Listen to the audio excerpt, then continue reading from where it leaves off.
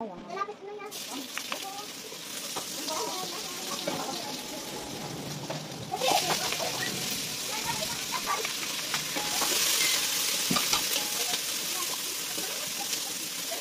chorizo. Chorizo de Bilbao. Ang ating bacon. And chorizo. So we'll put our pinalambot na ox stripe and deleted yung ligaments. Tig isang kilo. Ayan. Yan. Ang kulang-kulang is wala akong paprika.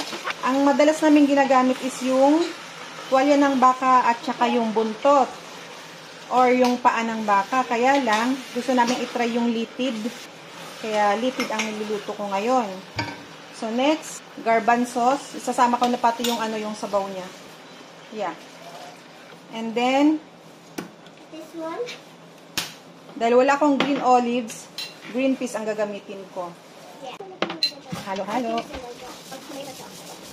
Lalagyan natin ng beef cubes. Beef cubes. Yeah, later. Maglalagyan natin ako ng paminta na. Yeah. Pero nung pinakuluan ko to, nung unang pakulo is, nilagyan ko siya ng bawang, Sibuyas. no, bawang, salt, and um, dahon ng laurel. Bali, pangalawang kulo na ito yung pagpalambot ko. Lagay pa rin tayo ng dahon ng laurel para pantanggal lang sa, or yung andod.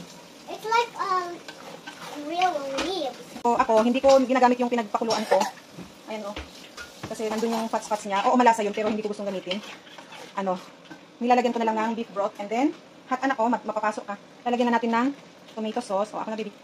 Malayo, map- mapapasok. Tomato sauce. Ako, tansya-tansya lang ito lang, sukat-sukat. Depende kasi sa dami ng yung, ano, ox stripe at saka, so, ito yung aking tomato paste. Lalagyan ko lang siya ng hot water. Kasi lalagyan ko din ng hot water itong, ano, kalyos natin. Ah, halat. Ay, nako, ay, nako. Ayan, oh, lambot-lambot, oh. Lipid natin. Ligaments, ang lambot. Mm. Pati yung ating tuwalya, ang lambot. Ganito lang siguro.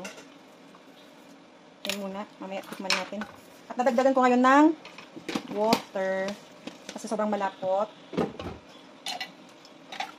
Ito po ay version ko ng aking ano, kalyos. Ang kulang lang dito sa kalyos ko ay paprika. Pero okay lang. Lalagyan ko lang ng konting sugar. Siguro ano lang, 1 teaspoon. Yan, 1 teaspoon lang. So ngayon, last na ilalagay natin itong ating red bell pepper and green bell pepper. Ating pang final. Ng pabango, dagdag bango. Ang sikreto dyan sa para maging masarap ang iyong karne is kailangan malambot na malambot din. Kasi kahit gaano pa kasarap yung sauce mo kung matigas yung karne mo, hindi rin yan masarap.